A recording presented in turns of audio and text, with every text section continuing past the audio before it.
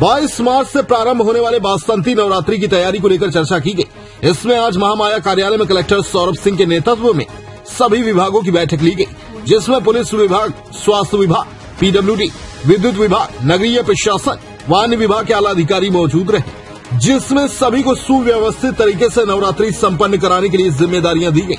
महामाया मंदिर ट्रस्ट के अध्यक्ष आशीष सिंह ठाकुर एवं मैनेजिंग ट्रस्टी सतीश शर्मा ने सबसे पहले बैठक की शुरुआत की।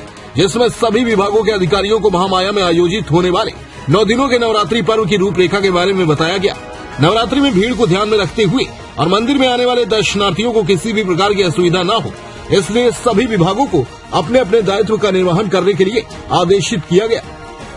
महामाया मंदिर ट्रस्ट के अध्यक्ष आशीष ठाकुर ने बताया कि हर नवरात्रि के पहले होने वाले प्रशासनिक बैठक जो होती है, उसी रूटीन के हिसाब से इस बार 22 मार्चिंग मार्च तक होने वाले नवरात्रि के लिए आज कलेक्टर ने सभी विभाग को अपनी ज़िम्मेदारी के साथ नवरात्रि संपन्न कराने को कहा है, जिसमें सभी विभाग के अधिकारियों की मौजूदगी रही और सभी ने नवरात्रि में मंदिर ट्रस्ट के साथ सहयोग करने की बात कही, जिससे आने वाले दर्शनार्थियों को किसी भी प्रकार की कोई परेशानी न हो और सभी आने वाले दर्शनार्थियों को दर्शन लाभ मिल सके। इसके लिए मंदिर ट्रस्ट भी तैयारी में जुटी हुई है।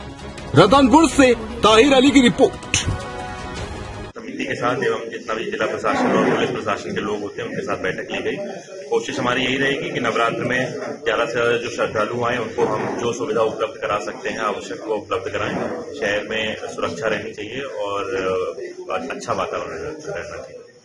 नगर में सिंगल यूज़ पॉलिथीन का अभी भी बहुत यूज़ है। उसके बारे में चेक करेंगे नगर पालिका को निर्देशित करेंगे कि उस पर कार्रवाई करें सिंगल यूज़ पॉलिसी है कि लोग आराम से दर्शन कर सकें सुरक्षा है।